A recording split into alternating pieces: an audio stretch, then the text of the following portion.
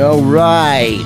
It is time for another wonderful episode of the Freedom Feens Talk Radio Musical Extravaganza. Not so much musical today, but there is music. And uh, Neema Vedadi, my co host, and I did all the music in here. And this is Michael Dean broadcasting live and worldwide from a windowless bunker at an undisclosed location in the rural wild mountain west in the occupied states of America. And today, my co host, Mr. Neema Vedadi, is uh, out because this is a good thing. He had a kid. He's got a, uh, a new daughter, Lily June Vedadi, who is about uh, eight days old right now, and he's spending a few Sundays hanging out with her. So today we have a wonderful guest co-host. It's not it's not just a guest. I'm not just saying, oh, we have a guy we're we're interviewing today. No, he's the guest co-host, and his name is Bill Buppert. And how you doing there, Bill Buppert? Hey, I'm doing great, Michael. And again, it's an honor to come on the Feen Show. Excellent. Bill does a uh, blog called zerogov.com. It's .com, correct, Bill? It is .com. Yeah, see, I just autofill everything, so I don't know what the uh, what the TLD always is, but it's zerogov.com.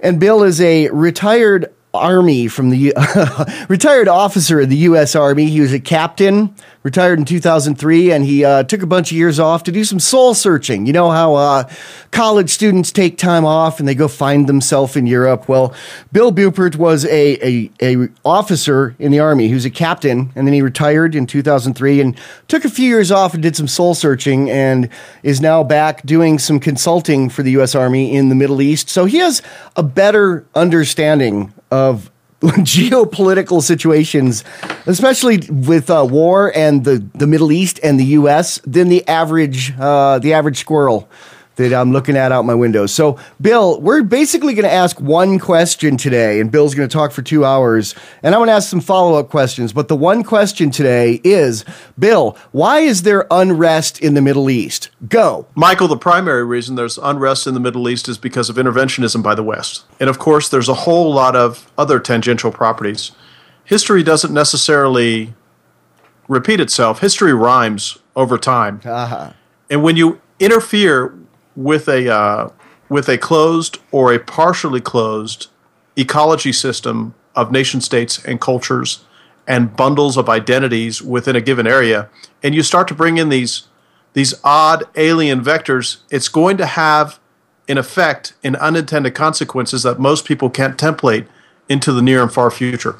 If we look at America's foreign policy since 1893, after the defeat of the uh, southern states in the Second American Revolution in 1865, what we discover is that since 1893, the American government has been a militarist complex that has made it its primary mission globally not to liberate, not to spread democracy, not to inculcate a sense of freedom and liberty as you and I would appreciate it, but to overpower the world, to make war on the world, and to make the war on the world much like the war it wages on its own citizens, despite the blinders we've been put on our we've had put on our eyes with government education. That's your thesis at the top, and I agree with all of it. But to a lot of people, that sounds like hippie talk or treason, and it's pretty bizarre coming from uh, a retired army officer who is in good standing with the military, who still works for the military, to give an explanation that basically says it kind of sounds like it boils down to the problems in the Middle East are largely the fault of the U.S. and other Western nations. Is that what you're saying, to be clear? That is precisely what I'm saying. And it isn't simply America, it's also the British, it's also the Europeans, it's also the French colonials. It's also, you know, I read a book recently by Martin Windrow called Our Friends Beneath the Sands The French Foreign Legion Between 1870 and 1935.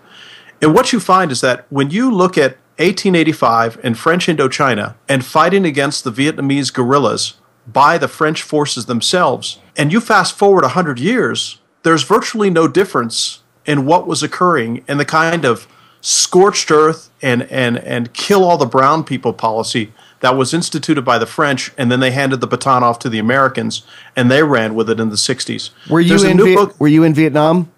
Oh no, I'm not. I'm not that ancient, Michael. How old are you? Can I, I can I ask? I'm 53. Okay. And and I I did visit Vietnam on a, on another mission, but it was after 1975 when American hostilities had come to a slow burn. Ah, Okay. So I've there there was unrest in the Middle East before the U.S. existed. Uh, not probably before long after the British Empire existed, but you know I've heard this kind of tongue in cheek thing of the reason that there's unrest in the Middle East is Abraham had two sons, which is basically a vast oversimplification at best and just wrong at worst. You know, it's basically saying you could take it back to God given property rights from a thousand, you know, 700 years ago, 2,000 years ago, or 5,000 years ago. And, and people thinking, yes, God gave the Jews, the Christians, or the Muslims these property rights. But is that an oversimplification? Is there any bearing in that? Is there any truth in that? You know, actually, Michael, I don't think it's an oversimplification. If we apply Occam's razor, which is where the simplest explanation is most likely the truest explanation, in this case, Judaism, Christianity, and Islam all have a root document in the Book of Abraham, from whence all the the organizational and sectarian splits occurred for people to divine, discover, and create their own sects, S E C T S, their own individual religionist sects that would go off into their own tangents.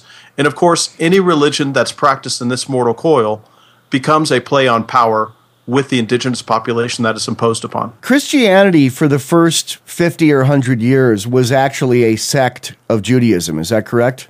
You know, I'm, I'm not as familiar with the early church as the later church, but I'll, I'll bet that, that I'll bet that meme follows suit.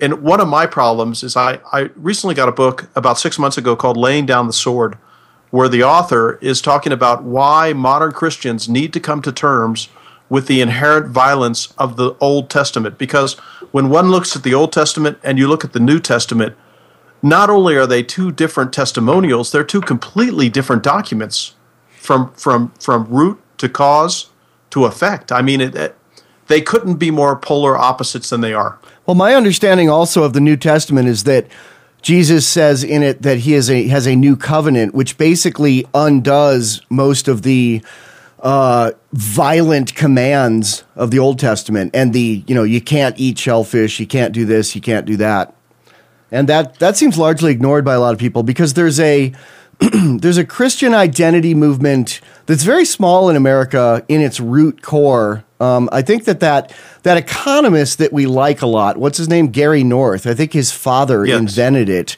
and you know, there's probably ten thousand practicing people in his brand of Calvinism in America, but it, it's vastly influential on American politics and probably American talk radio without people even knowing who Gary North is or who his uh, father in law is or what Calvinism is.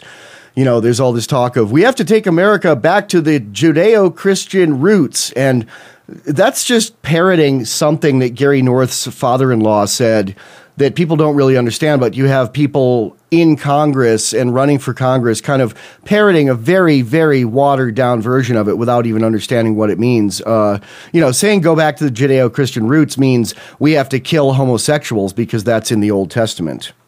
It, it's interesting, and, and what you're describing is what's referred to as a Reconstructionist movement, where they'd like to assume some kind of theocratic involvement or influence in government that's far larger and disproportionate than it is today. I'm not certain if Christian identity and Calvinism are the same thing because the Christian identity movement happens to be very closely aligned with the white supremacist and the Aryan nations movement in the United States, whereas yeah. most Calvinists are not.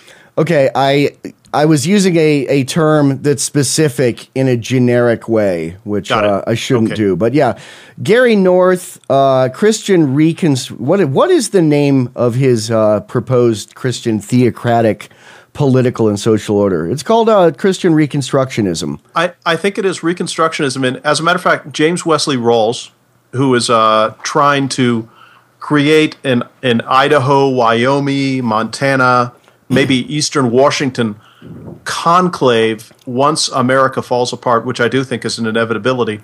Once that happens, he, he's try, trying to create a remnant up there that would probably parrot some of what, what Gary North talked about. Gary North is an interesting cat.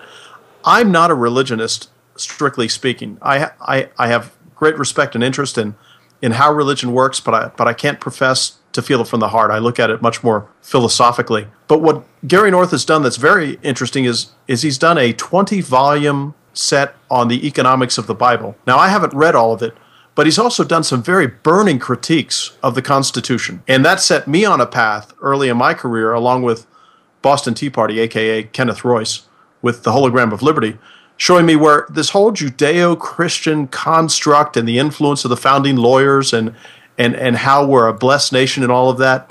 In the end, not quite so much. Much more propaganda than reality. That sounds like crazy talk to some people who are probably listening. Can you explain that a little more? I can. I'm. I um. And I don't want to put your audience off, but I'm a No, constitutional no. skeptic. You're, I agree with what you're saying. I'm just saying it needs further explanation. Sure, I'm I'm a constitutional skeptic. For the longest time, I drank the constitutional Kool-Aid. I authored a book of my of my essays that we put together, and over time, I saw an evolution of my thought. The name of my book is Zero Gov: Limited Government, Unicorns, and Other Mythological Creatures. I know it's a curious title, but the whole notion that it's trying to be descriptive of is that we have this this idea that if we find a parchment that's ideal enough and we idolize that parchment hard enough that we can maintain limitations on government. But there is no historical precedent whatsoever in Eastern or Western history to show that once a government takes off, it can remain within prescribed limitations in a document in, in, in, in talking about it or speechifying about it or whatever the case may be. It will get on a train, and that train will take you to expanded and metastasized government that is injurious to liberty and freedom. Yeah, I mean a, a basic uh, like like actual how it would affect me question I have about that whole idea. Like I kind of like that there are people who want to be left alone. I want to be left alone. I want and and there's a lot of them in Idaho and Wyoming. Uh, I live in Wyoming, so I want to know if those people succeeded in having their Wyoming and Idaho secession, where everything's based on a Judeo Christian uh, ideology of Calvinism, extrapolated from Calvinism. What would happen to me? I live here. Would I would I be forced to abide by it? And we'll be back with more on the Freedom Feens, talking with Bill Buppert after this trip to the market.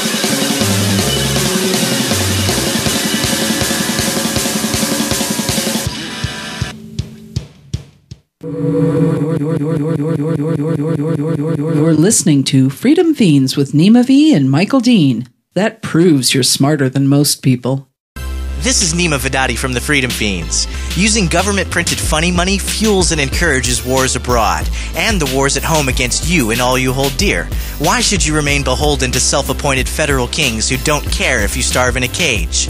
Become your own king today by owning gold and silver from Midas Resources. Go to freedomfeens.com and click on the Midas Resources banner over on the right, or go to gold.freedomfeens.com. That's gold.freedomfeens.com. You've read books, attended lectures, and you know the Constitution well enough to know it's a well crafted blueprint to create an ever increasing federal empire. But there's still one thing missing buttons! Freedom Feens now has buttons. You'll get state speech is hate speech, guns and weed, buy sheep for sheep on sheep, and two designs for the Freedom Feens. Wear them with pride. Use them to start conversations with statists. It's only $10 for 10 buttons, including shipping. Go to freedomfeens.com and click on the link at the top that says buttons. Hey, there's some Squizzcar Squiggles from Death Clocks. And uh, you are listening to the Freedoms Feens on the, you know, the radios.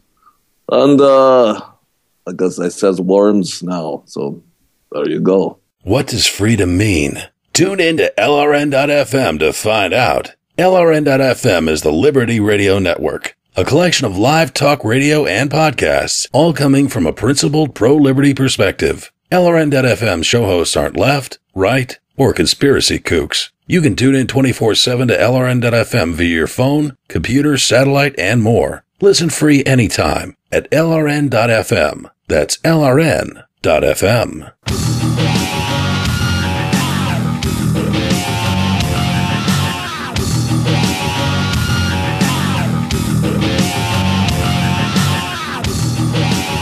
Welcome back. Welcome back to the Freedom Feens Talk Radio Show on Genesis Communications Network. Today we're talking with Bill Buppert, retired Army officer, current Army. Uh, I don't know what's uh, what's the word? Not soldier of fortune, uh, consultant. I think they call it. And uh, his website is zerogov dot got, dot com. Zerodove dot com. Dot com. Yes, it's those mind control drugs the government's slipping into my uh, my vape. Yeah, so zerogov.com. And our question for the whole show is why is there unrest in the Middle East? Because he spends a lot of time there uh, looking at and dealing with unrest in the Middle East. But we're going off on a tangent here of um, why why did the terrorists win in what has become in America of uh, turning everything into the Stasi, where the government's spying on everybody, and there's a militarized police truck on every corner. You know, uh, terrorism, according to Caleb Carr's definition and the definition that the POTUS approves in the counterterrorism organizations in the United States, simply means politically motivated violence levied against noncombatants and innocents. That's it. It's nothing more sophisticated than that. So, what police do on a daily basis is a form of terrorism, technically speaking.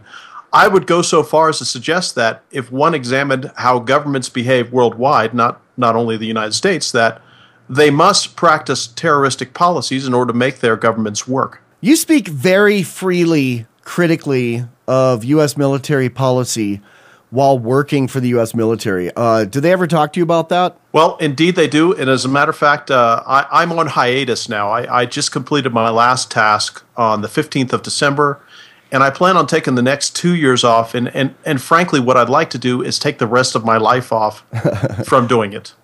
Yeah, and you're you're uh you're kind of a prepper kind of guy, and you're considering moving out of America. Is that correct?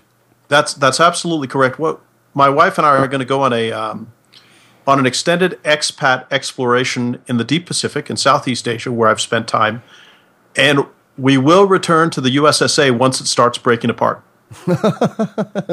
once once things are are uh, I, I, was gonna make a joke of like when things are good, but that sounds pretty bad to me, especially if various civil wars happen. Because uh, you know, there's a lot of people out there stroking their bayonet, saying, "I'm ready for the civil war. I want it to come." Uh, civil wars are horrible. People get raped in the streets, and people get their heads cut off, and people cut out hearts of people's loved ones and hold them up for cameras. Look, that, war is horrific war is just it's it's the most awful enterprise ever. Randolph Bourne said, "War is the health of the state." And I mentioned 1893 earlier when we uh, annexed Hawaii in a most violent fashion. Then in 1898, what we did in the Philippines and what we did in Cuba would make your hair stand on end. And then, of course, we go into World War One, and we have the American Protective League, which was a, a proto-Stasi variant that Wilson imposed on the American people in 1916 through 18. I mean, the whole sordid blood soaked and nasty history of, of the, the American military and the Western military in the 20th century is just a. Uh, it's it's a horrific affair. Most people aren't even aware of some of the, the battles you just mentioned. I mean, if you ask America, like the average American, what wars have we been in? They'll say, "Ah, oh, probably you know, if this, they'll say oh, the Revolutionary War, the Civil War. Maybe they'll mention the War of 1812. Probably not. World War One, World War Two, Vietnam, and uh, Desert Storm till now, and that's all they know about. I mean, the United States has constantly been murdering innocent people all over the world forever, right? And you and you know most most patriotic middle class Americans are just totally unaware of the of the history in the 20th century alone, just from just from 1917 until the uh, the beginning of this new millennium that you and I are in, just that period of time, we we see that 265 million corpses were stacked up outside of warfare, and there was probably 115 million corpses stacked up within the wars that were waged. And since 1945, there are a variety of estimates between I, I, think it's 40 and 55 million that have been murdered by the West in various proxy wars around the planet. Nick Turse came out with an interesting book called Kill Everything That Moves, which is something of a revisionist history of the Vietnam War. And when you look at the civilian death toll visited by the Western military complex in Vietnam, it really gives you pause. Have you been in battle? I have, and, and, and I'd like to say something about that the amount of people that you hear bragging about their combat exploits, the more they talk about it, the more they're probably lying and wolfing to you. The guys who have probably seen it are the ones who don't talk about it, and I'm one of those. Okay. Yeah. So, how does this have, but what's the bearing on all this? When we get back, we'll talk about the bearing on this little bit of history that we just got on why there is unrest in the Middle East with Bill Buppert on the Freedom Feens Talk Radio Show.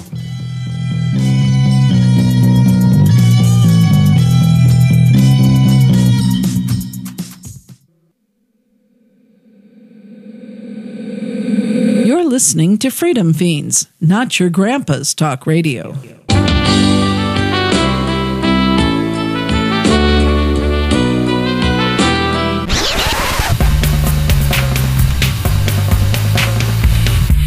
Admit it. You hate shopping for Christmas. You do. It's a hassle coupled with a burden, mechanically checking off friends, relatives, and coworkers from your list. You're probably not even religious, but if you are, is buying your cousin some little made in China piece of plastic really celebrating the birth of your Savior? This holiday season, why buy gifts for friends and relatives? Most of them are status anyway. You should send that money to the Freedom Feens instead. The Freedom Feens will use your money to help spread education of horizontal liberation throughout the world. If you want to help provide inoculation from indoctrination, go to freedomfeens.com and click on the spinning coin on any post to send your money to the Feens instead. Because buying crap for unappreciative statist relatives won't get your name on the golden floppy disk of redemption. And if you must shop for Christmas, please do it through the Freedom Feens Amazon link over on the right side of freedomfeens.com. It won't cost you anything extra, and Amazon will save you the danger of holiday drive-by stabbings at your local mall. Amazon pretty much sells everything you can buy on this earth, except for guns and weed. But they do sell the DVD Guns and Weed The Road to Freedom, so get that for your gun hating stoner brother or neocon gun nut dad. They'll thank you for it. That's freedomfeens.com.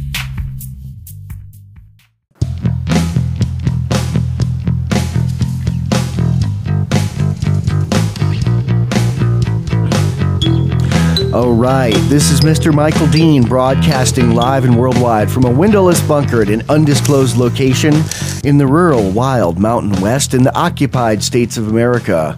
And our, our co host today, filling in for Mr. Neema Vedadi, who's out on paternity leave, is Mr. Bill Buppert, a retired Army officer, a captain who runs a great blog called ZeroGov.com. And we're talking during the commercial break about uh, Gary North. We mentioned him in passing. He's the kind of one of the fathers of the American uh, Christian Reconstructionist movement, which is pretty complex and gets watered down a lot to uh, you know people in Congress saying, "Well, we need to do this and we need to kill these people and we need to change these laws because blah blah blah," which is just they don't even understand what they're talking about. And Gary North is a great guy with economics, with old economics. We didn't say that before. We like him.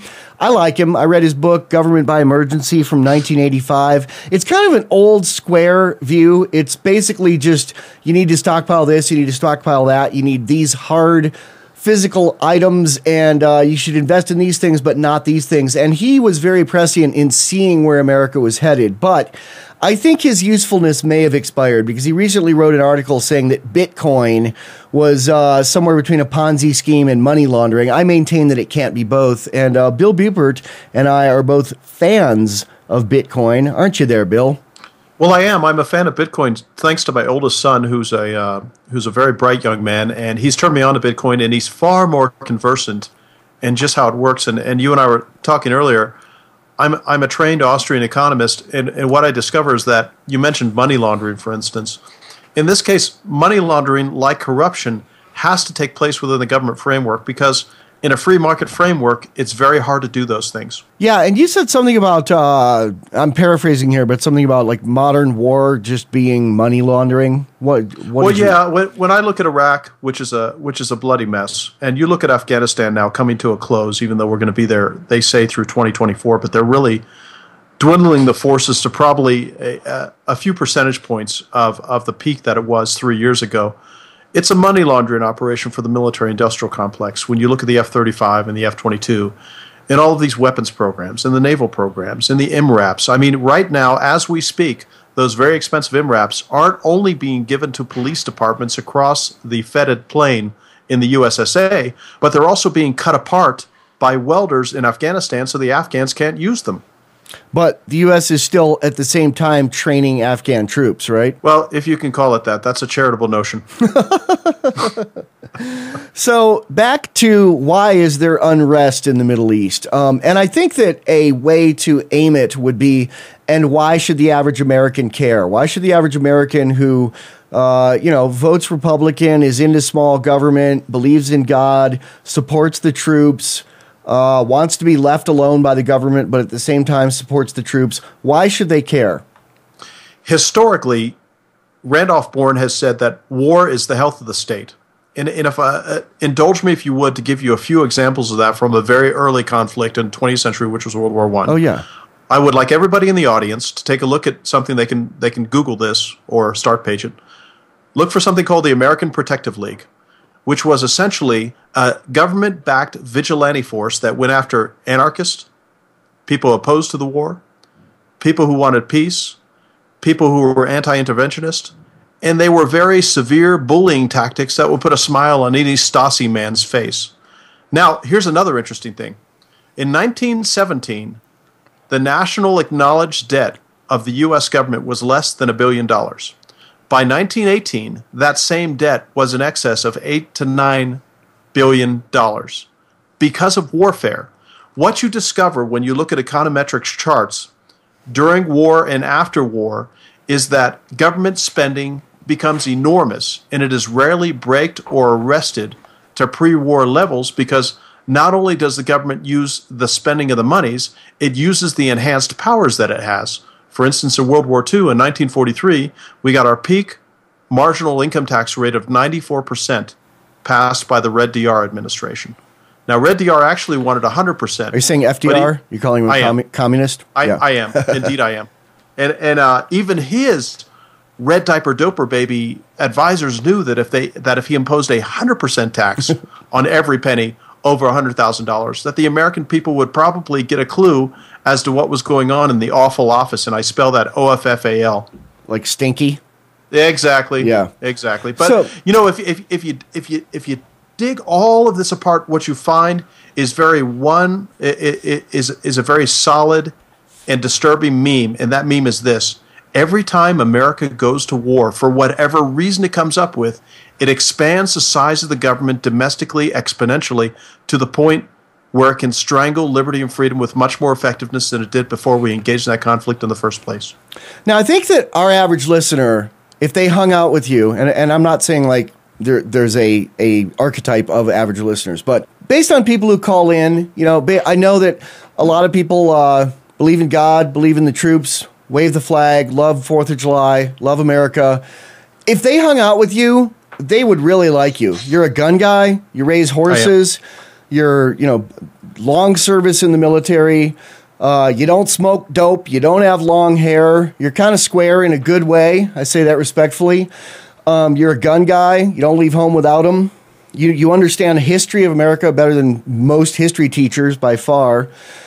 Uh, but you would probably say that it's it's a contradiction to wave the flag and say support the troops, and at the same breath or the same person saying, "I don't want the government spying on me, and I don't want the government reading my email, and I don't want You the know- government knowing how much money I have in gold in my basement." Would you say that's an- true? Oh, it's absolutely true. What an interesting tension, Michael, that, that you've illuminated, because that, that's really what it comes down to. When you when you take away all the patriotic bunting and the flags and the bad anthems and support, you know, if you want to support the troops, bring them home. That's the thing you have to do to support the troops. I, I think that I would like everybody who supports the troops go to your local VA and spend a week there volunteering, and ah. volunteer and volunteer in the amputee in the amputee units if you really want to get a wake up call on what this is doing, that's where you'll find it. And and by the way, that is a that is just a small microscopic sample of the kind of mayhem that is visited upon the countries in which other people who don't happen to be Americans are maimed and killed or or butchered in some fashion by American and Western arms of the kind of savagery that you see over there. Every country in the world, I don't think a lot of Americans are aware of this. Every country in the world, every child is taught from school. Every school child is taught from age five or younger. Support the troops, love the flag of our nation. We're number one. Everyone else is, is wrong, right? Uh, you, you're you're totally right, and Amer- the American government is very savvy with this. Why do you think that there weren't state divisional formations in World War II? Because what the Americans, lear- the American government learned in World War One was don't send the first Pennsylvania or the third Massachusetts or anything like that, because they do not retain a nationalist identity; they retain a state identity. If they, as bad as a state identity is versus what you and I would envision as the ideal world, it is not a national identity. What they want to do is erase all of these provincial sub-agency lines of states so that they can make the national Yeah, I think uh, Mr. Bill Buppert has been censored by the United States government. We've lost him. I think the central scrutinizer has pressed a button and made him go away. Are you there? Are you there? Yeah, we're calling him back. So this is. Michael Dean on the Freedom Feens. Do we have you there, Bill? You got me right Okay, here. I'm- yeah. I, I apologize for that. I don't know what All happened. right. No, the government censored you. Go on. so, so what I'm saying is that uh, between World War One and World War Two, the government got really smart and they said no more state fa- state organizations, divisional formations will go into battle.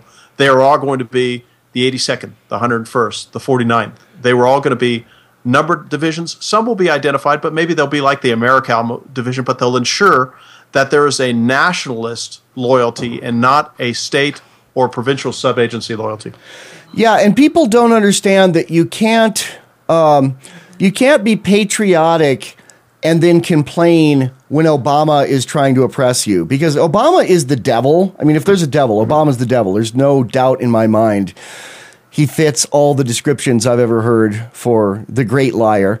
But he's co-opting this wave the flag USA number 1 thing that's been built up by conservatives for decades, right? Michael, may I suggest that uh, this is Bush's fourth term, and that and that and that Obama and Bush differ very little in uh in in I, philosophical. I'd say it's the George flavor. George Bush the first like twelfth term or 9th term or fifteenth okay. term. Uh, uh, you know what? I'll give you that. Anything post Grover Cleveland, I find I have to hold my nose. It's FDR's ninetieth term. it's Wilson's hundred and tenth term. Yeah. Indeed, indeed. I, but I, I'm with you as far as the. I find it so curious the flag waving because I don't pay a lot of attention to politics now. I am a non-voter, and and I find that I, I, I waste finite time and resources by devoting any time to whatever that flavor of the month is. And I, I don't vote because I don't have a preference for evil. And Yeah. I don't and I also don't vote because to me voting is a form of violence. Because in essence what I'm saying is I will legitimize the use of the government to go to my neighbor's house and take his stuff. Yeah, people say if you don't vote, you can't complain. I say if you do vote, you can't complain. Thank you, sir. Now, I- now can you explain that 100%. better? I, I'm still waking up here. You've been up for a few hours longer than me, and you've had more coffee, I think. So, explain what I just said, if you can. Well, oh, certainly, it's it, it's very easy. What, voting is an act of violence because what what in essence you're saying is that I'm going to pull the lever for my man, and my man is going to have the lever of controls to use taxation and regulation vertically and horizontally to control human behavior within the confines of the tax jurisdiction we live in. That's bold thoughts. I like it. So, why is there unrest in the Middle East?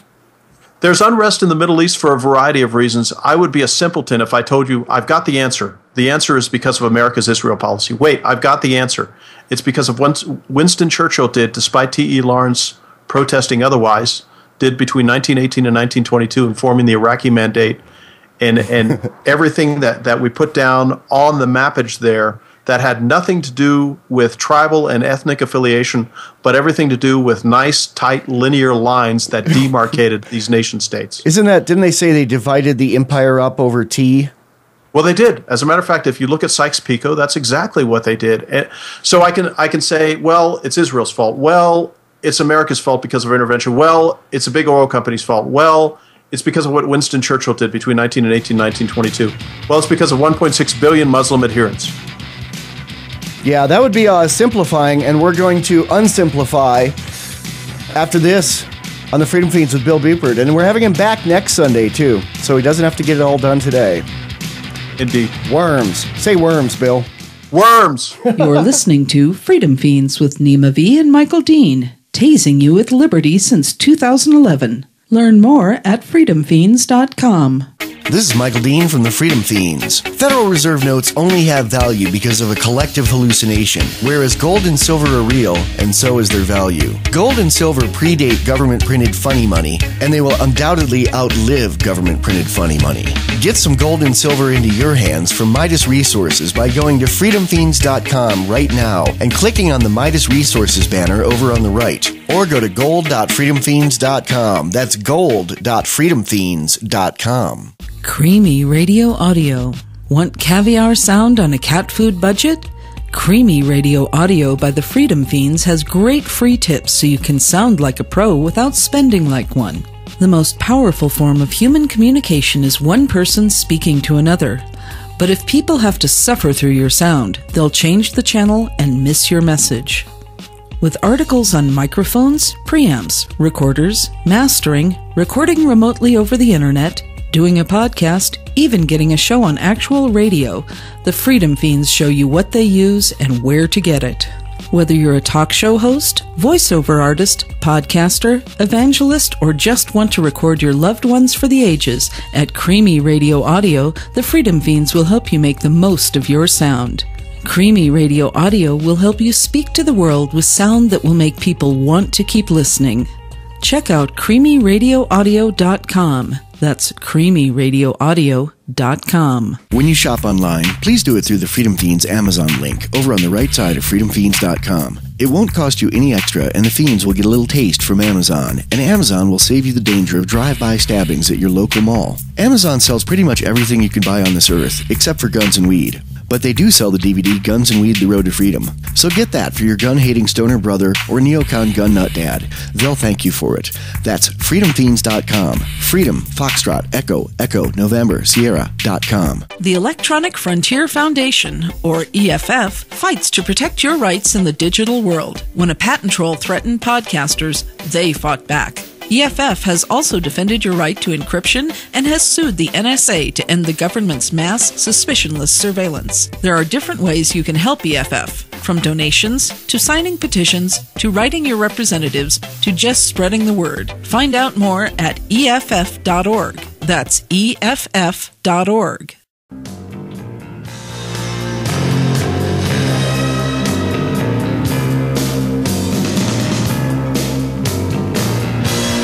Welcome back.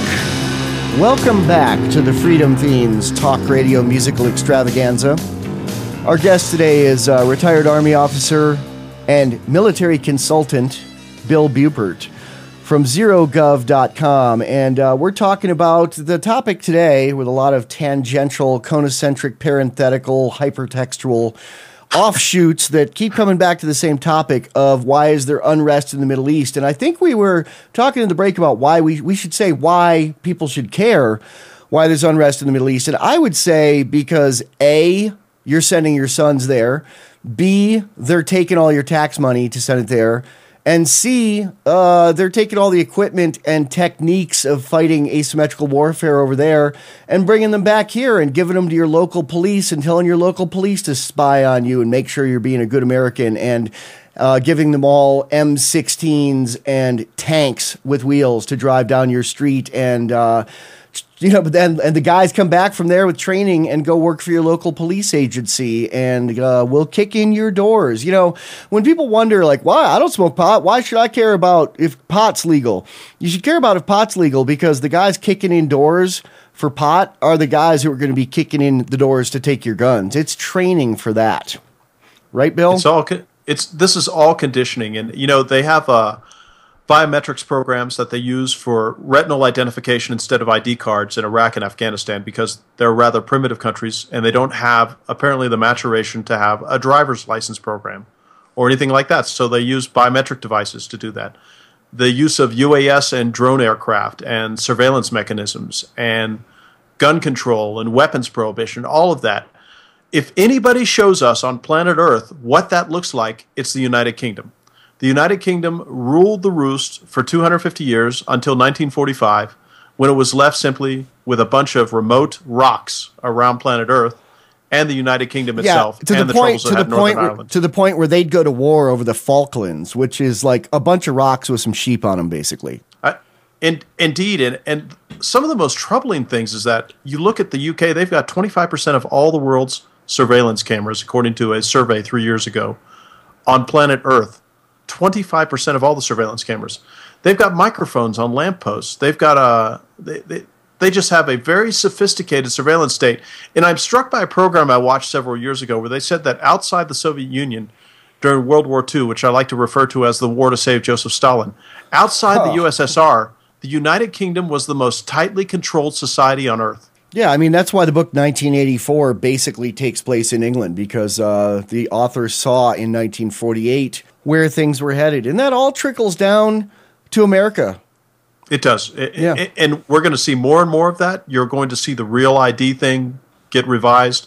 And with the National Socialist Healthcare that this current administration is trying to put into place on the tail of the prescription Medicare D expansion that Bush one, Bush 2 gave us, what that's going to involve is a necessity for an identification database that is as intimate as it gets with all of our behavioral patterns as, as human beings.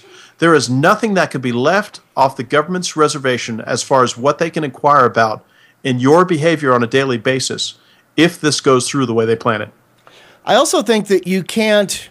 I, I we said in the fir- in last segment that it's a contradiction to say support the troops, wave the flag, and and also complain about surveillance and intervention from the government. I think it's also uh, a contradiction to be adamantly anti-immigrant and want to put up a wall and have surveillance on all those people and wonder why you're getting surveillance on yourself. Would you say there's a connection there? There's an absolute connection. I happen to live in the state of Arizona, and, and people here had a SB 1070 that was passed, which said that if the cops assumed that you were illegal, they could ask you for identification. Well, everybody was all the, the usual conservative suspects, conservative neoconservative, were all over that with the with the kind of nativist sentiment that you just described. But take it to the next level and the next step, which is this: if they think you're an illegal and they can require your paper identification, then what stops them from requiring de facto and de jure that everybody carry it at all times? Yeah, and it's uh, a lot of people assume that would just apply to Mexicans, but you know, I look like your average IRA member, Irish Republic Army.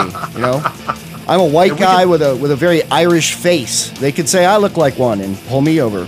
Look at my gun. I'm a student of the IRA. We could talk about that. That's uh, that makes people want to tune in, including the government, for the second hour with Bill Buppert on the Freedom Feens. So stick around. Well, Bill Buppert's going to talk about the IRA, and he said he was a student of it. I want to know what that means. We'll be back with more on the Freedom Feens with Bill Buppert.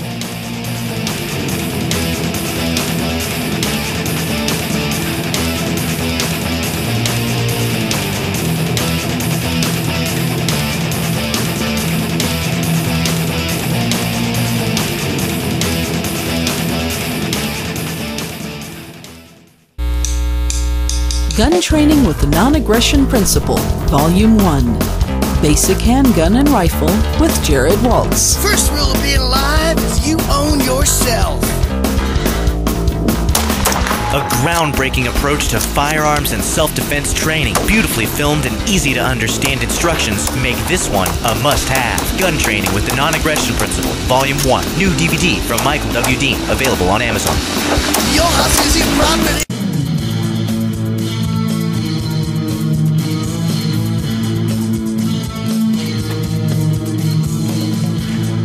Welcome to hour two of the Freedom Feens Talk Radio Musical Extravaganza. I'm Michael Dean, broadcasting live and worldwide from a windowless bunker at an undisclosed location in the rural wild mountain west in the occupied states of America. And today, filling in for Mr. Neema Vedadi, who's out being a new daddy, we have Bill Buppert from uh, zerogov.com. And Bill made a very provocative statement at the end of the last hour that I'm going to ask him to clarify. It kind of picked my ears, and I'm sure it picked the ears of several DHS fusion centers listening in. And I don't want to get droned. So, uh, what'd you mean, Bill, when you said you are a student of the Irish Republic Army, the IRA?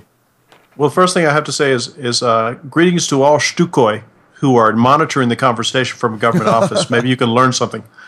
That, what, what what that means is that I have uh, been a practitioner and I guess one could say a consultant and a, and a, a professional in regular warfare, asymmetrical warfare, fourth generation warfare for a large part of my career.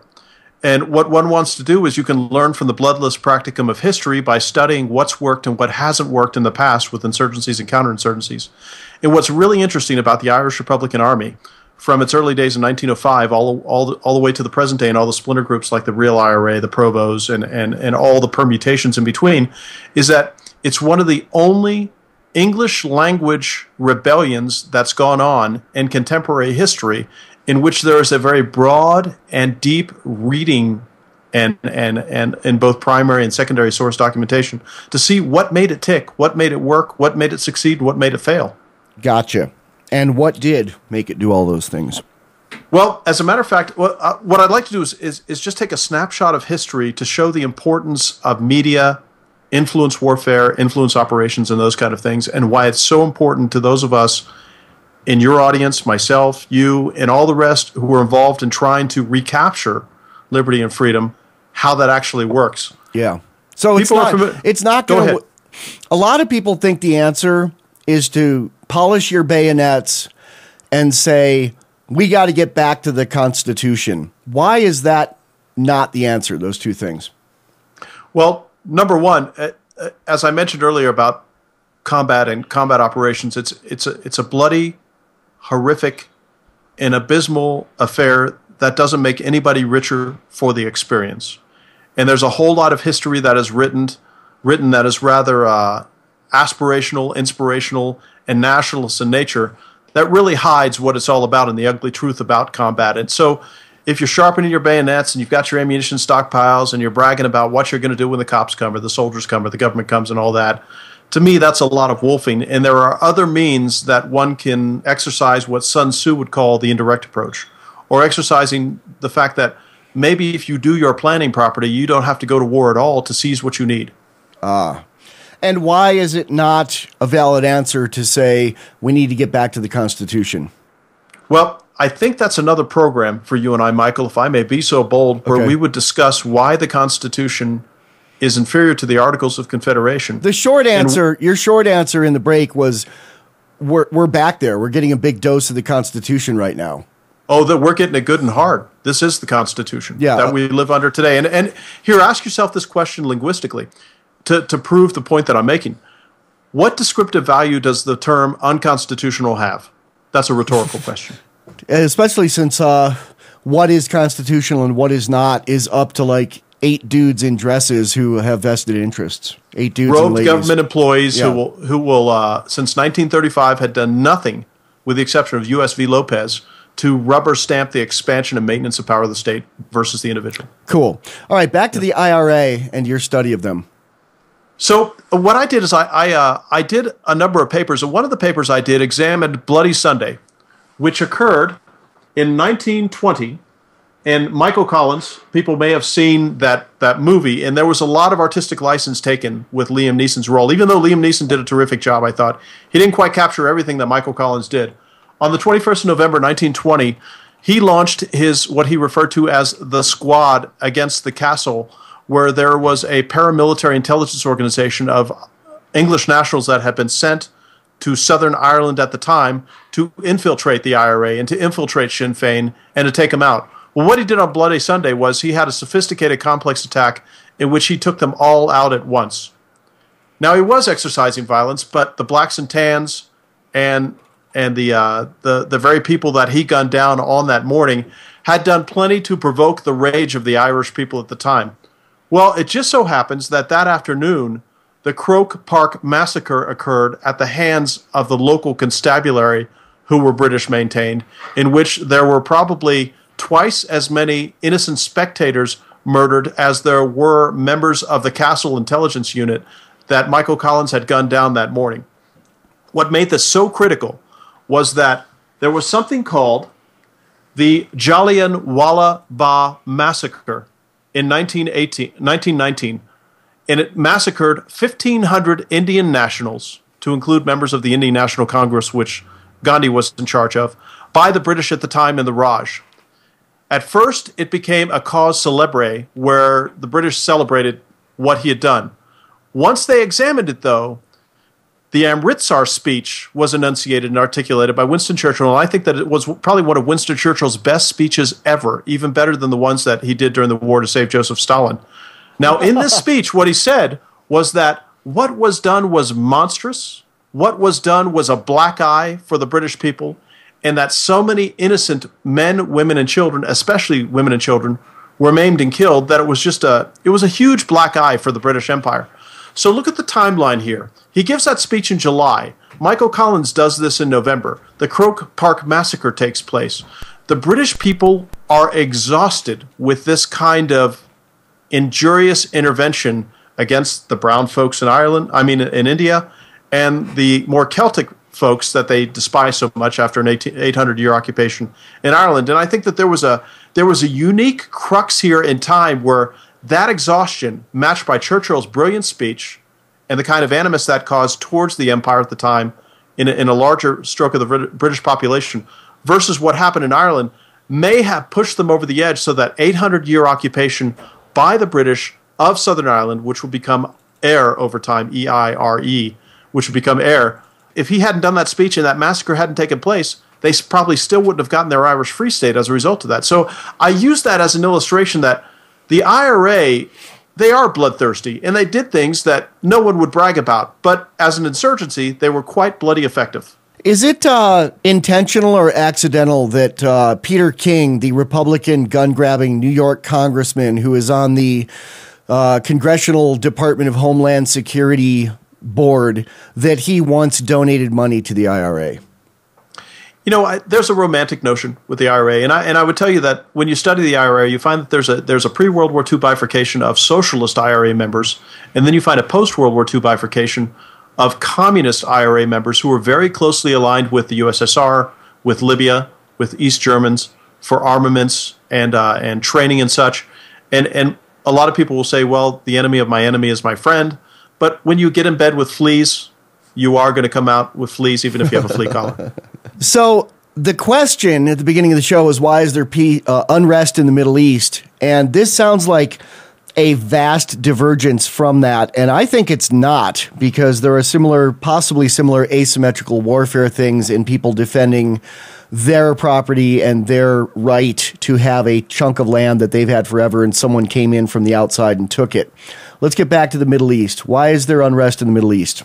Well, let me make the connection real quick because, Michael, you're right. The connection between these is that the use of mine warfare and IEDs and the decision to take to target non-combatants, which is terrorism, was taken up. That cudgel was taken up by both the IRA and was taken up by a lot of the folks from Palestinians to Iraqis to Kurds to uh, to Afghan to Pashtun, whatever the case may be they've taken up these asymmetrical advantages against large standing armies because that's the advantage they have. Yeah.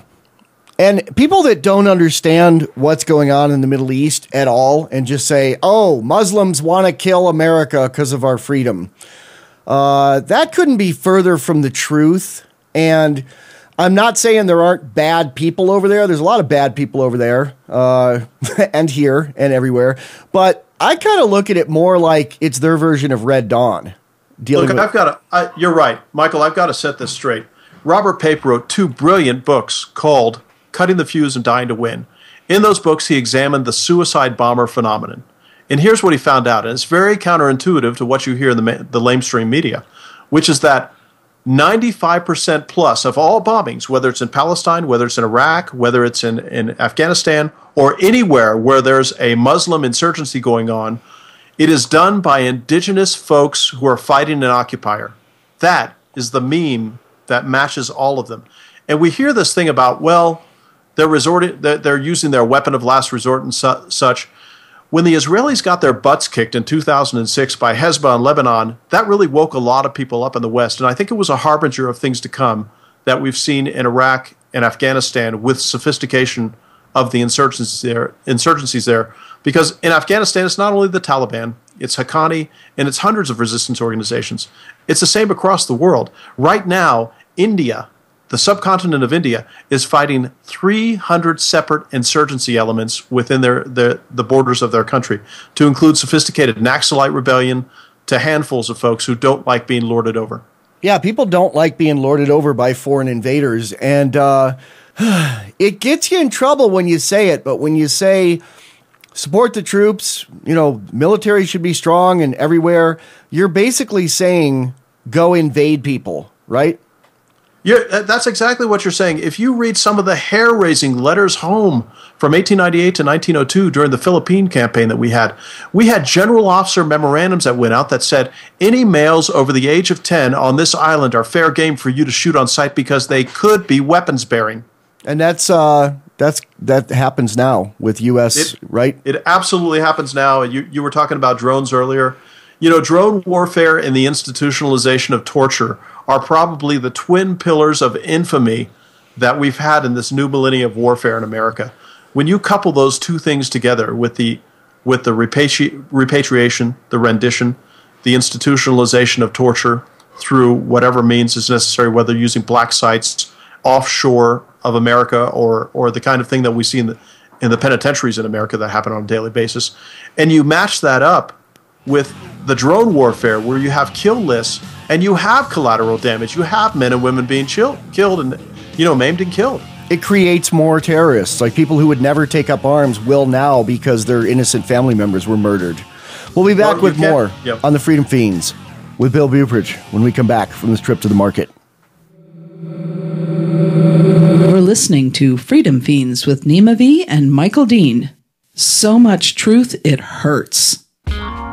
Do you want to raise your children outside of the government indoctrination camps that are today's public schools? Check out the Ron Paul curriculum link over on the right of freedomfeens.com. The Ron Paul curriculum is a liberty-based K through 12 homeschool course. It covers history, liberty, geography, math, science, and free market economics. Kindergarten through 5th grade are free. Then it's only $250 per family per year. Click on the Ron Paul curriculum link over on the right side of freedomfeens.com. That's freedomfeens.com. Hey, this is Nathan Explosion from Dethklok, and you're listening to Freedom Feens on the, the radio. Worms. Love the Feens and want to help out? We do take donations and we put them back into our Liberty projects. You can make a donation by clicking on the spinning coin on any post. But what if you want to help, but you ain't got no cash? Or you made a donation and you want to help more? Here's how you can help. Download and seed our torrents to help keep us drone proof. There's a torrent club link at the top of freedomfeens.com. You can also blog the Feens and share episode links on Facebook, Twitter, and elsewhere. You can rate and review our movies on Amazon and IMDb. You can rate and review the Freedom Feens and our songs on iTunes. That really helps a lot. You can buy our movies and share them with friends or give them out as gifts. And one of the best ways to spread liberty is to buy a bunch of Freedom Feens buttons and give them out as gifts. Wholesale prices are available, and you can also comment on our site, or better yet, comment about us on other sites. And please email the site link to all your friends. Thanks for helping spread the Feens message worldwide to as many Liberty people as you can, especially to those who don't yet get it. You rock. Hi, I'm Michael Dean from the Freedom Feens, and like you, I'm concerned with privacy on the internet. The electronic police state is strangling our previous protections, and the central scrutinizer is trying to squint into all areas of our lives. That's why smart people surf the net with a VPN or virtual private network. I use a VPN from Boleh VPN. Boleh VPN has your utmost security in mind and will allow you to surf, email, and do other computing tasks without leaving a trail of breadcrumbs across the internet. Unlike many other VPN providers, Boleh VPN doesn't log traffic. With Boleh VPN, you can change your apparent location or disappear completely. Boleh VPN has been around since 2007, which is OG in the VPN world. Boleh VPN is easy to install and configure. Best of all, it can be had for less than 25 cents a day, which is a small price to pay for this much security. And if you open a support ticket saying you heard about them through the Freedom Feens, they'll add three extra days free. That's Boleh VPN at B O L E H VPN dot net.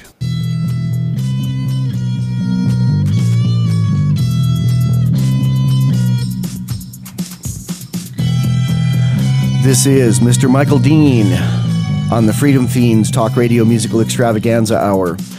And our guest today is retired Army officer Bill Buppert from ZeroGov.com. So, Bill, tell us more of why there's unrest in the Middle East. Well, we talked earlier about those uh, those different vectors because one would be very naive to think that you could say that there's one reason why they're so disturbed by Western intervention in the area. What we have is 1.6 billion religious adherents to Islam and the 90 subsects thereof, most of whom are members of either uh, Sunni or Shia. And you have these very complex, this very complex web of relationships, like the one between Syria and Iran, one of the longest lasting state to state relationships in the Middle East. You have the Wahhabists in Saudi Arabia who do everything they possibly can to undermine Western influence in the region while smiling and, and, uh, and shaking the hand of Westerners at the same time. It, there are just a number of vectors, but I think that what they're suffering from is almost an imperial exhaustion of being occupied for so long. Because since the end of the 16th century, there has not been any Islamic occupation of a Western nation at all. The number is zero. Since the 16th century, there's been a Western occupation of Islamic countries numbering in the dozens, if not the hundreds, over that period of time. And who was doing that in the 1600s? Uh, the, the UK? They were, but it, it, what we have to remember is that the UK, the imperial vision and manifestation around the planet with the UK really took off in the early in the early 18th century, and then it ended in 1945. But there were certainly manifestations of it naval wide in the 16th century, but it didn't really start to take off as far as a, a kind of ground consolidation of the empire until the 18th century. Okay. So before that, I mean, there was obviously unrest before that in the Middle East. There's unrest everywhere in the world, but it was small bands of people with swords, right? It wasn't imperial armies coming in and, and doing modern warfare for its period. Well, indeed, it, it, indeed it is. But we can look at a large number of of formations of very formidable soldiers through time. We could look at Alexander. We can look at the Roman legions. We can look at the Mongols. The, I mean, the Mongols were at the gates of Vienna as as late as the uh, I think it was either the 15th or 16th century. And uh, at the Battle of Tours, I think in the 8th century, in I- on the Iberian Peninsula of what is now Spain, if things had turned in that battle in the opposite direction, London would have very well be a Muslim capital in the world instead of a, a, a Christian capital if the tides had turned in, in the other direction. But that's just the way history works. Like I mentioned earlier, history doesn't necessarily repeat itself because there's so many different permutations, but it certainly does rhyme. And what we also discover, and I talk about this in my book, ZeroGov, Limited Government, Unicorns, and Other Mythological Creatures, is that secession and the breaking apart of nation states is the rule, not the exception in history. That, that, that is the ebb and flow of how nation states emerge, get power, and dissolve over time. And like you mentioned, Michael, the same thing has happened among the Islamic nations. You know, whether it's during the Caliphate era or what we see with the Wahhabist strain in the 19th century in Saudi Arabia and all these other different sects, they certainly have within the confines of their own Islamic world conflicts and, and, and, and strife that they're visiting upon each other absent Western intervention. But I think it really metastasized with Western intervention. Do you think that the U.S. military has any legitimate reason or benefit to have any troops on the ground or anything over there? Absolutely zero. There is no legitimacy in what's happened in Iraq or Afghanistan. You know, it's funny because uh, for Iraq, I mean, 21 casus belli that the Bolsheviks gave us to go into Iraq, and none of them have turned out to be true. And then we look at Afghanistan, where we invade in 2001. In concert with the Northern Alliance, we kick the Taliban out of the capital, and they go back to the regions that they're stronger in, which they are still strong in as we speak.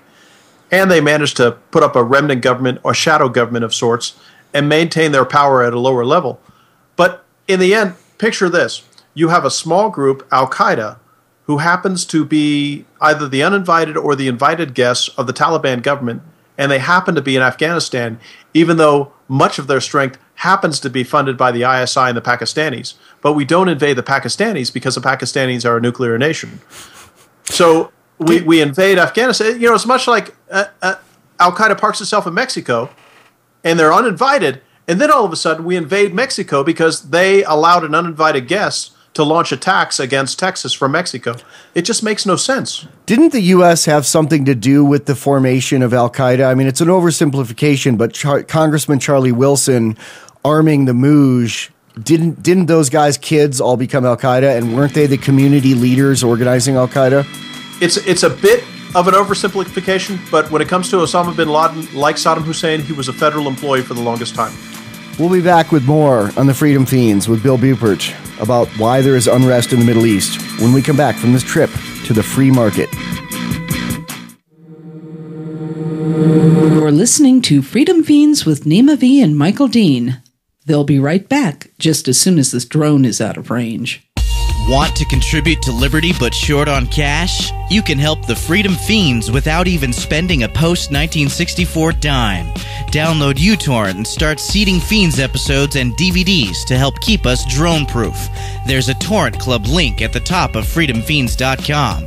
There you'll find our torrent RSS feed and instructions to grab past episodes and automatically download new ones, even while you're away from the computer.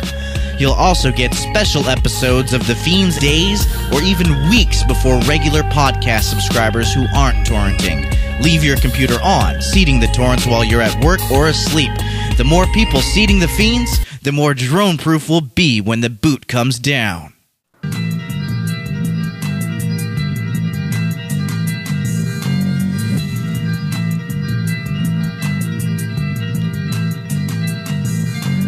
This is Mr. Michael Dean on the Freedom Feens Talk Radio Musical Extravaganza Hour.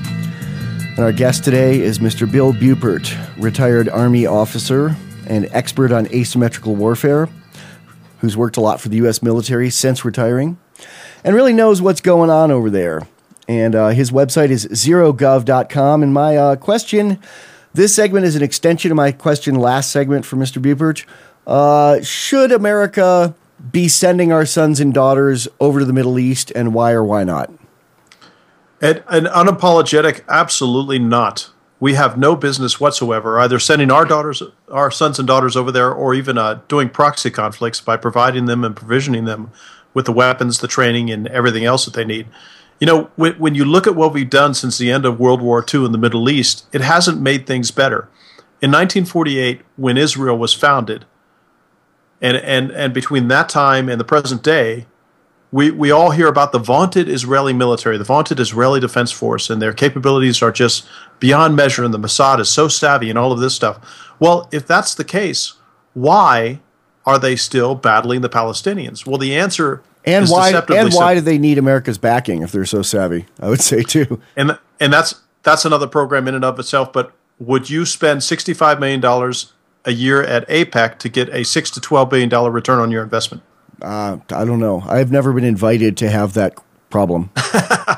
But I think that's a pretty good return on investment for political activity by the Israeli uh, lobby in in the American capital to get money for themselves. So I think I mean that's one reason why they do that. But it's it's deceptively simple why Israel will never prevail over the Palestinians, and that's because one of the measures of effective asymmetrical warfare in the Islamic world is their willingness to weaponize self-immolation, their willingness to use suicide as a means to an end with the exception of the Japanese kamikaze tool sets that were used in World War II, rarely in the West has that been practiced. But in the Islamic world, it is a measure of combat effectiveness to be able to employ suicide vests, suicide bombings, uh, complex attacks that would involve the use of those along with small arms fire and indirect fire. And it's very, very effective because all they have to do is the same thing that Maggie Thatcher complained about to the IRA. She said, you know, I have to be on my game all the time, and all you guys have to do is penetrate that game once and prevail. Yeah, and I think that uh, I want to take a little aside here to make an explanation. It's not an apology, it's an explanation because I know that we do have listeners monitoring us from organizations like the Southern Poverty Law Center looking for us to say something they can take out of context and use against us.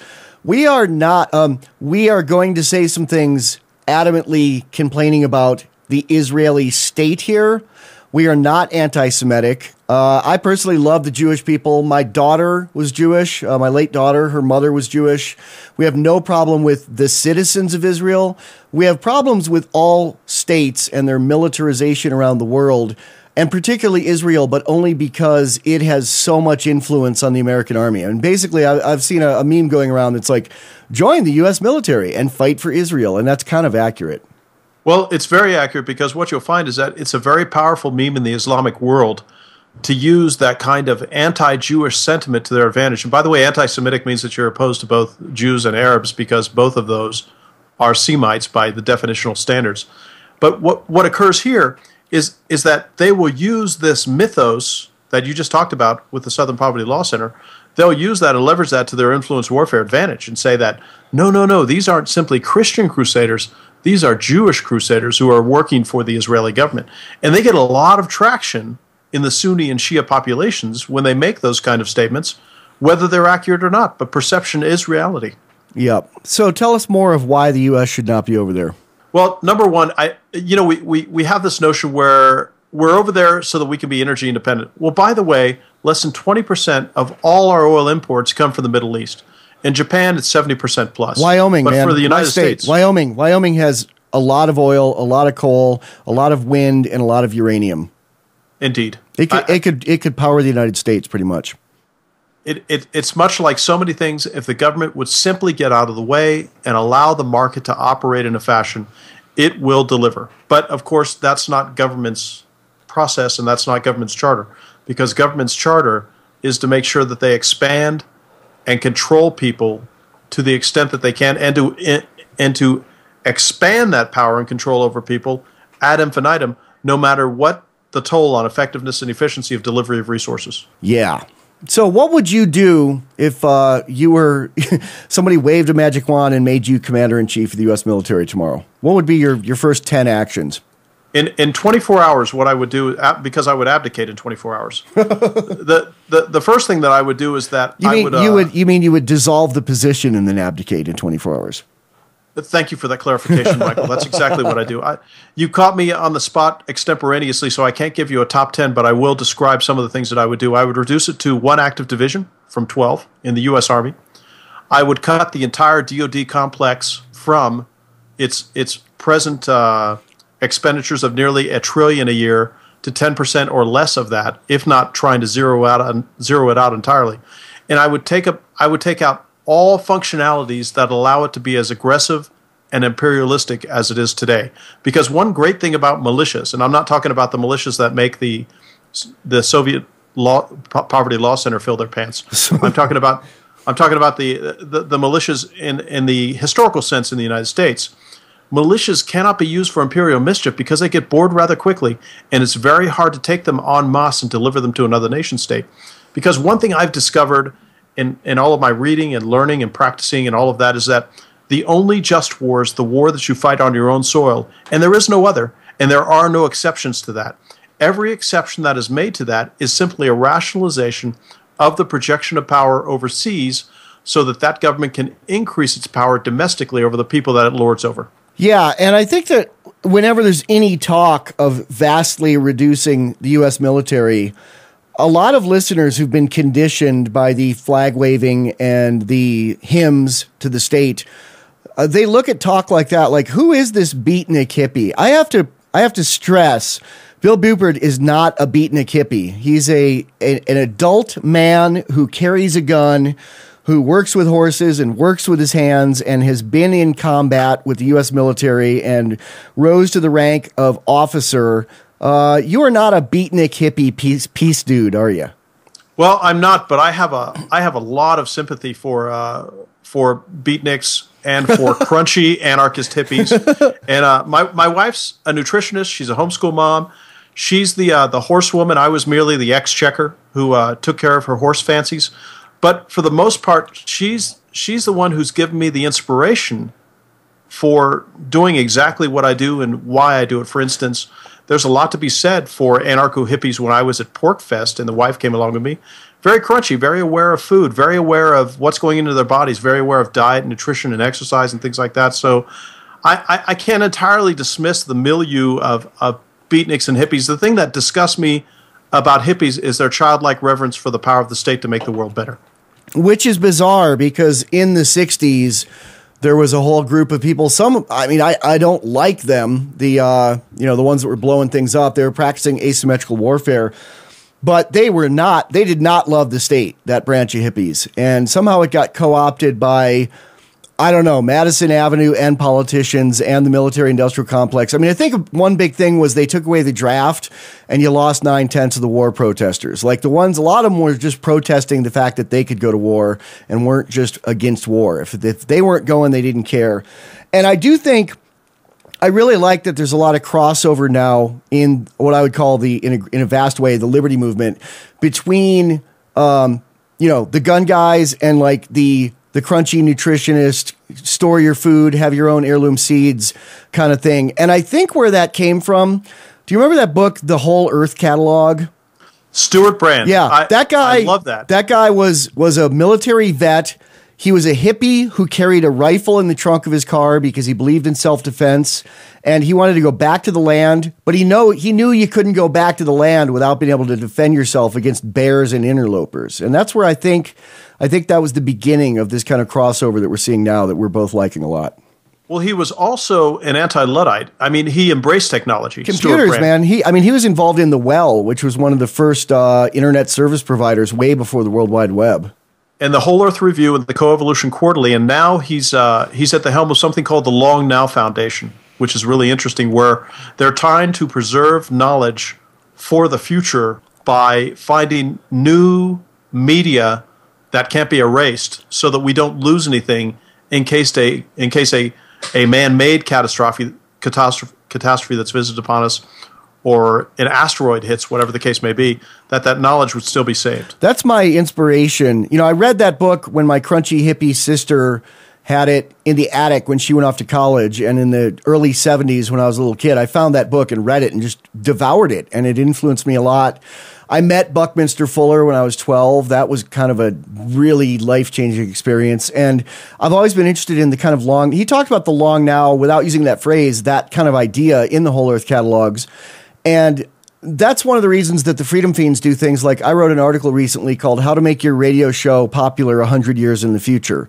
And we do things like we put all of our episodes up on BitTorrent as well as an MP3 stream through uh, through iTunes. And it's a lot more work to do that. And we have a great guy named Sean Duvally who helps us with that. He, we have a torrent master. I'm our webmaster. He's our torrent master. And the reason we do that is because we realize that we could get droned figuratively or literally at any time for free speech. And we want to have 30 or 40 or 50 people out there who are in different countries, in different geographic regions, who are set up to just share it forever. And that's how I think you keep it around. I mean, when you think about uh, our great heroes of libertarianism, you know, Rothbard and, and Mises and people like that, and the people that came before them, and anybody who criticizes us because we're criticizing Israel and thinks we're anti Jewish, they have to remember that most of our heroes, our intellectual heroes of libertarianism, were Jewish people from Europe. Um, some of those people, like their their works were lost, and actually, the the way that one of them got preserved was some Stasi guy in uh, in Soviet Russia was put in charge of keeping these like banned, you know, destroying these banned uh, items that were found by these libertarians, these writings, and he actually read them and said this Austrian stuff makes sense, and he preserved it, and it got published later because of the one copy of the manuscript that he had. That's amazing, and and I wonder at the uh, at the number of people who have been caught up in our, our drug war, for instance, in penitentiaries. How many Rothbards? How many Rands? How many uh, Machiavellis? I mean, how many how many great artists have been caged and imprisoned by the U.S. government and will never see the fruits of their minds? Yep, and we'll be back with more. And remember, Machiavelli wasn't the bad guy; he was the guy writing about the bad guy. So when people He say was a. Machiavellian, yeah, it doesn't mean bad thing. it shouldn't. We'll be back with more on the Freedom Feens. You're listening to Freedom Feens with Neema V and Michael Dean. Inoculation from indoctrination. Learn more at freedomfeens.com.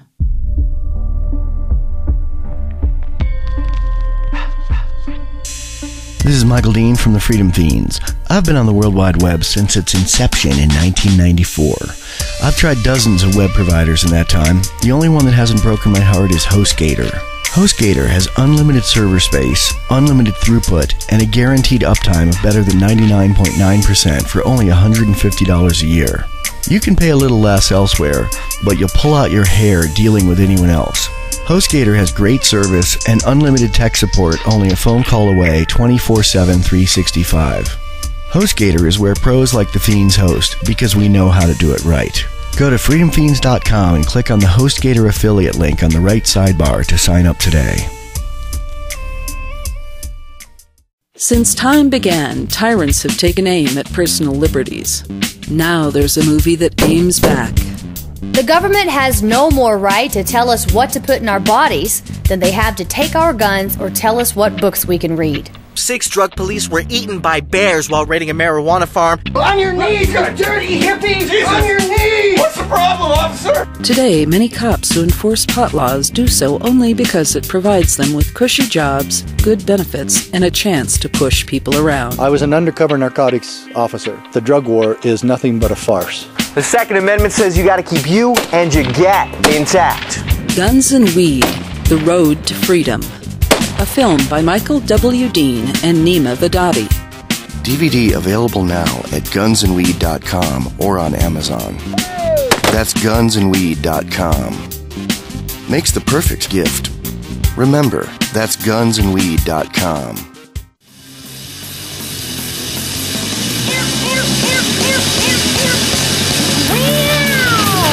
Yeah. This is Michael W. Dean on the Freedom Feens Talk Radio Musical Show. Irking Statists and the Soviet Poverty Law Center and your local DHS Fusion Center since 2011. And uh, we got one little segment left here with Bill Buppert, who you can find at uh, zerogov.com. That's zerogov, Z E R O G O V.com. He's a retired Army officer. And we're going to have him back next Sunday because we like him so much. He's going to be here next Sunday. And this Wednesday, we have a special Christmas show that's pre recorded uh, with the guy from FEE, Max Borders from the Fed- Foundation for Economic Equity. Now, what is it? FEE. Anyway, Education. education. Yeah, they've been around since uh, the 30s. They're an OG libertarian uh, organization. And then with this uh, coming Saturday, we have Neema Vedadi back. And then Sunday, we have Bill Buppert again. So Bill Bu- Buppert has about three minutes to wrap up part one of his history of the world and why there's unrest in the Middle East. Go, Bill, go. So what's what's the solution to our problem in the Middle East? There is a distinction between isolationism and non-interventionism. Isolationism is much like the Mexican substitution economy, where they say that we have all of these resources and such, but we are not going to cross germinate with the rest of the world. We'll sell our oil, but we're going to make everything in house. That's isolationism, and that leads to a kind of hermetically sealed stasis in innovation, where innovation simply doesn't happen. Non-interventionism is much like the Swiss model, where you say we are not going to export violence, but we're going to have Congress with the world and peaceful voluntary market enterprise and everybody benefits from doing that by making war on the world and making war on the middle east specifically it does nothing to make us safer it does nothing to make us more prosperous and it does nothing to make us more free here in our own country because like the united kingdom was illustrated earlier the more we practice this kind of military superiority and pre- supremacism overseas the more of that is going to happen here at home. All one has to do is look at the 19,000 police agencies and the 1 million status badged, costumed thugs who populate all these police agencies and all the military equipment they've got, their blouse boots, their buzz cut haircuts, their military training, and their almost occupation style mindset. What it tells you is that if you're making war in the Middle East in the fashion that we're doing now, be prepared for every bit of that to come home. We have spent trillions of dollars in 12 years in Iraq and Afghanistan. And I guarantee you that when the last Allied boot leaves Afghanistan between 2014 and 2018, within two weeks, Kabul will be under siege. And within two weeks after that, Kabul will fall. And for what? And to what end? I think the end that we see here, and I'm not a conspiracist, I believe in government incompetence more so than conspiracy. I think what we see here is a money laundering operation for the military industrial complex, which is why the usual suspects in Moscow on the Potomac were salivating at the prospects of opening up a wider conflict in both Yemen and Syria, because Iraq and Afghanistan are winding down. As long as we continue to attempt to make war on 1.6 billion Muslim adherents, there will be no peace in the world. That's very cogent, and thank you for enumerating and explaining that so well. This has been Mr. Michael Dean on the Freedom Feens talk show, talking to Bill Buppert, who you can find at anti, uh, I'm sorry, zerogov.com. That's zerogov.com. That's, But I'm a fan of antiwar.com, and I have a book on Amazon called ZeroGov. Yeah, that's what I was thinking. I was antiwar.com, which is the guy who was on last week. Uh, Scott Horton used to work for them and now has gone off on his own on the Scott Horton, Scott Horton show. Yep, and we'll have you back next Sunday. It's an honor, Freedom Michael. Feens. Thanks for having me It's on. been an honor too. What are you doing uh, with Christmas here? What are you doing this week? All six of my children are home for the holidays because I have grown children too, who- and, and they have they have gone away to the winds. But every one of those darling creatures are going to be in my house. Is that the first year you've had them all back for a while? It's been a while. Since Yeah. we've had them all here at once. So yeah, that's that's that's the best part of the holidays. Yeah. Well, it sounds like a wonderful time there at uh, Casa de Buppert, and I hope you have a wonderful time. We call it the. Circle A Ranch. There you go. the Circle A Ranch. That's right. So that's pretty awesome. Yep. and this has been Michael Dean on the Freedom Feens Talk Radio Musical Show Extravaganza, talking to Bill Buppert from zerogov.com. That's zerogov.com. I'm going to say it one more time. It's zerogov.com. And thank you for listening to the Freedom Feens Talk Radio Musical Show. Worms.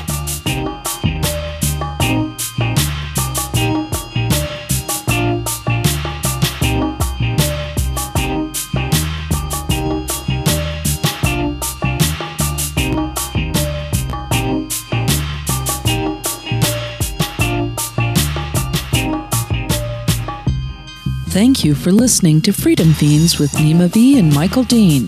Make an appointment to listen while it's still legal. Learn more about the Feens and download archived shows at freedomfeens.com. That's F R E E D O M F E E N S dot com.